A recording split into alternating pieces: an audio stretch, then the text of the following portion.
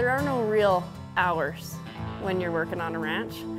You have to feed horses, you have to teach lessons, you have to fix things that are broken. Sometimes horses get hurt and you need to deal with them at the wee hours of the morning. So you really don't have any strict scheduled hours. You just do what you have to do. My name is Britt Cooke and I run a horse boarding and lesson facility out of Cochrane, Alberta.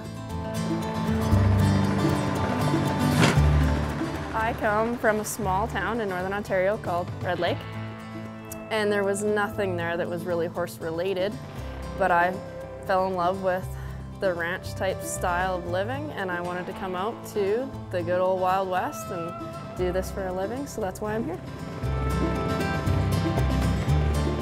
My ranch is called Beyond Borders Ranch and I'm located just a few kilometers east of Cochrane, Alberta. Well, the ranch is on about 80 acres. There's an indoor arena, barn, coffee rooms, tack rooms, over 20 head, different animals, lots of people, close to 13 boarders.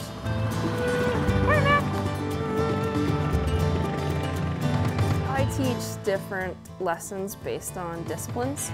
So there's English, Western, obstacles, trail, just general horsemanship. So just trying to maximize how well horse and riders work together at whatever discipline they choose to do. Well, I don't think you could really have a business slash personal life uh, separate from this. You have to enjoy what you're doing, you want to have to do it on your spare time, and that's the only way it really works together.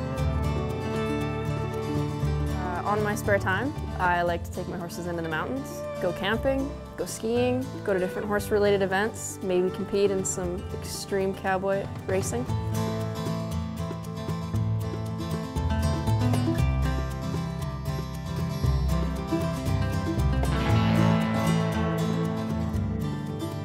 It takes a lot of time and effort to keep this ranch going. There's only a few people who take care of over 20 head of horses and lots of maintenance on different buildings and you need to have commitment, time, energy, and some good help.